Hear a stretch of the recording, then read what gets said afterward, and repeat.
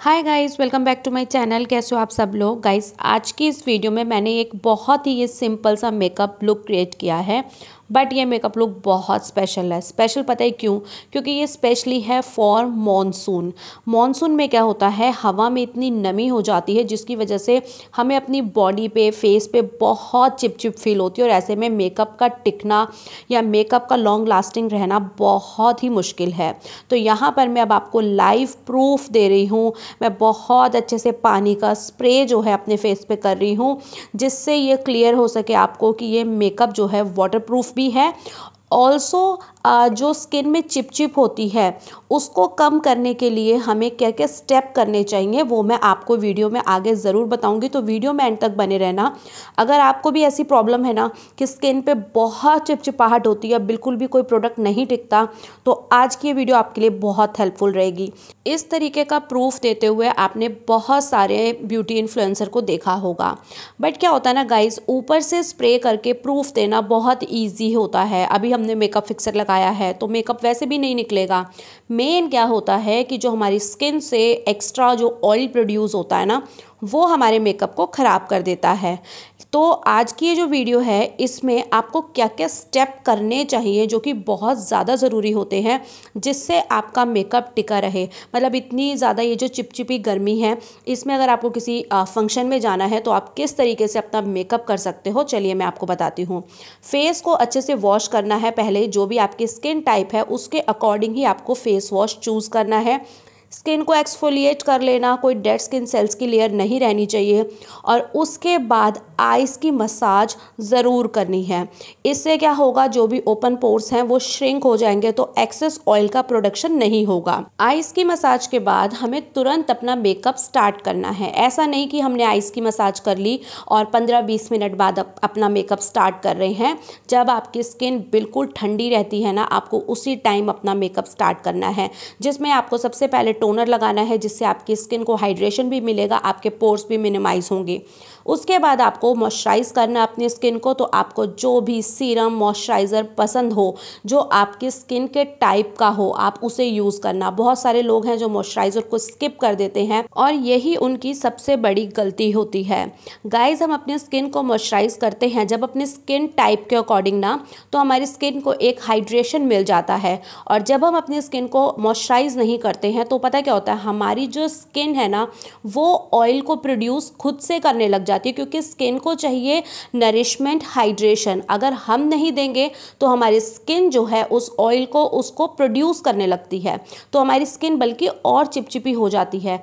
इसलिए मॉइस्चराइज़र ज़रूर लगाना चाहिए और मॉइस्चराइज़र अपनी स्किन टाइप के अकॉर्डिंग ही लगाना। क्योंकि स्किन टाइप के अकॉर्डिंग अगर वो नहीं होगा तो फिर वहीं गड़बड़ हो जाएगी और फिर मेकअप आपका नहीं टिकेगा। तो इस चीज़ का आपको ध्यान रखना है। बाकी देखो, गर्मी हो चाहे सर्दी हो लिप बाम ज़रूर लगाना चाहिए। लिप्स हाइड्रेट हो जाते हैं। और उसके बाद लगाना है हमें प्राइमर तो वैसे तो प्राइमर अपने स्किन टाइप के अकॉर्डिंग ही आप चूज़ करना बट सिलिकॉन बेस्ड प्राइमर होते हैं, वो ऑयल फ्री होते हैं तो इतनी चिपचिपी गर्मी में बेस्ट रहते हैं। तो मैंने सिलिकॉन बेस्ड प्राइमर लगाया, और उसके बाद फाउंडेशन आपको ऐसा लगाना है, जो बिल्कुल मैट हो ऑयल फ्री फाउंडेशन हो अगर मैं अपने फेवरेट की बात करूँ तो मेरा फेवरेट है मेबलिन फिट मी जो मेरी स्किन पे बहुत लॉन्ग लास्टिंग भी रहता है और बिल्कुल पैची नहीं होता, कहीं से, कहीं तक मतलब पूरा पूरा दिन लगा के रखती हूँ, मेरे स्किन से ख़राब नहीं होता। तो इसलिए मुझे मेबलिन फिटमी का फाउंडेशन बहुत पसंद है। जब आप फाउंडेशन लगाओ तो उसको ब्लेंड करते टाइम आपको यूज़ करना है makeup setting spray setting spray use करना है मेकअप फिक्सर का यूज़ नहीं करना है। सेटिंग स्प्रे यूज़ करने से क्या होता है? हमारा बेस लॉन्ग लास्टिंग हो जाता है, वो अच्छे से सेट हो जाता है ट्रांसफ़र प्रूफ हो जाता है। फिर मैंने कंसीलर लगाया हाईलाइटिंग कंसीलर है ये मेरा, और इसको ब्लेंड करते टाइम भी मैंने ब्यूटी ब्लेंडर पे सेटिंग स्प्रे को अच्छे से मैंने स्प्रे किया, और फिर उसके बाद उस कॉर्नर से ही मैं इसको ब्लेंड कर रही हूँ, ताकि मेरा कंसीलर बिल्कुल क्रीज ना करे और वो सेट रहे। फिर अपने बेस को सेट सेट करने के लिए आप पाउडर यूज़ करना, जो आपकी स्किन टाइप हो, अगर आप ड्राई स्किन की कैटेगरी के हो तो आप कॉम्पैक्ट यूज़ कर सकते हो। आपकी स्किन काफ़ी ज़्यादा ऑयली है तो लूज़ पाउडर यूज़ कर लेना। और बनाना पाउडर काफ़ी अच्छे रहते हैं। बनाना पाउडर एक्सेस ऑयल को एब्जॉर्ब करने के लिए बहुत हेल्पफुल रहते हैं।